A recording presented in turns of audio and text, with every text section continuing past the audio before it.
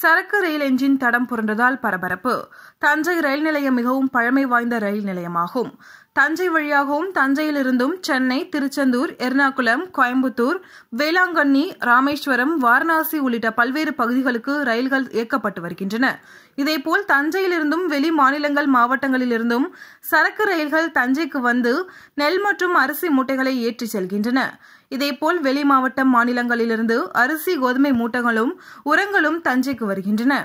இந்த நிலையில் நேற்று மாலை ஆறு முப்பது மணிக்கு ரயில் நிலையத்தில் உள்ள ஏழாவது மேடைக்கு சரக்கு ரயில் என்ஜின் ஒன்று வந்து கொண்டிருந்தது. அப்போது எதிர்பாராத விதமாக என்ஜினின் முன்பக்க ரயில் சக்கரம் தண்டவாளத்திலிருந்து தடம் புரண்டது.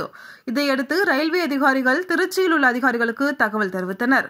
அதன் பேரில் அதிகாரிகள் தஞ்சைக்கு வந்து தடம் புரண்ட சரக்கு ரயிலை என்ஜினை சரி செய்தனர். இதனால் ரயில் நிலைய வளாகத்தில் பரபரப்பு நிலவியது. நீங்கள் அறிந்து கொள்ள தஞ்சாவூர் டேட்டாபேஸ் யூடியூப் சேனலை சப்ஸ்கிரைப் பண்ணுங்க ஷேர் பண்ணுங்க வாட்ச் பண்ணுங்க.